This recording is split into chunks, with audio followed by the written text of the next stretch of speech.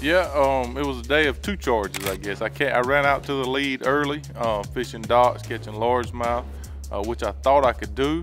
Um, but I also knew in the back of my mind that there wasn't enough docks to sustain all day. It wasn't a pattern I could run all day. Um, because I fish them so fast and just cover so many docks so quick, um, I knew I was gonna have to change. Moved around, fished a lot of underwater island, real shallow, moving baits, um, little baby thunder cricket, swim bait, uh, all moving baits, which is pretty, the wind was brutal today, so pretty much all you could do was moving baits and uh, um, catch them off docks on a jig. And then I'd bounce back and forth depending on if the sun was shining. Um, I try to let the docks rest a little bit, hoping maybe one would pull up underneath them. And um, I was able to bounce back on the docks and, and make a little run. And then I went back out to the underwater points and islands, and that's where I was able, I, I want to say close it out, but I don't even know if you could call it that. It was so close. I wanted to really put the heat on them docks early. Uh, before a lot of guys fished them, I knew I'd fished against a few. I did good here last time, and I knew I'd fished against a few of these guys. They was gonna fish docks. Anytime the score tracker goes Andy Montgomery, first thing everybody thinks is he's catching them off docks, and uh, there was some pressure on them early. Um, so I wanted to be one of them that catching all I could first thing before they got beat up, because there was just wasn't many of them. Knew going into it I was gonna have to catch smallmouth somehow.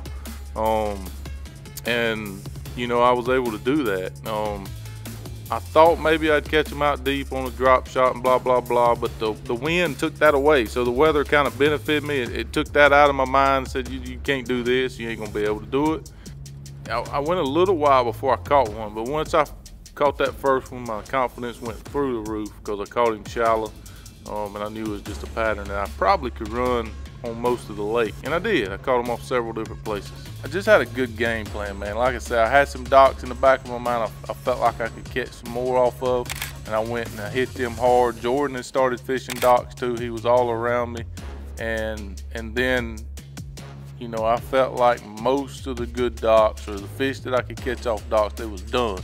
And I didn't try to force it. I went right back to uh, fishing that offshore stuff with them smallmouth and one place I'd seen on, on the Lowrance in the second period, I guess, that I hadn't fished in the second period, I stopped on it and I caught two smallmouth and that got me close and then Jordan, well, I actually took the lead and then Jordan took it back and then I went back to another island that I'd caught some earlier and was able to catch one more. And so I had a really good game. And in these events, I always try to game plan for the third period because I know the third period is very important. And uh, putting yourself in position the third period to make a run is, is very, very important. It's not like sudden death where you can't, you got to hammer down the whole time. And, and I'm not saying you don't hammer down, but it's just a lot of strategy. Make sure you put yourself in really good position in period three.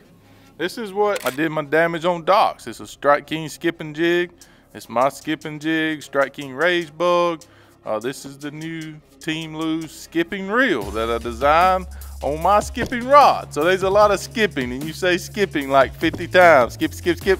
What'd you use? I use a skipping jig on a skipping rod, on a skipping reel, and I skip docks. And I caught a lot of bass. And then offshore, it was winding the little thunder cricket and a, a swim bait around on them underwater islands where I could see the bottom. And, you know, there'd be a smallmouth love transitions, and they would be, you know, dark to light or, or dark to clear spots and smallmouth needed to be feeding for me to catch them.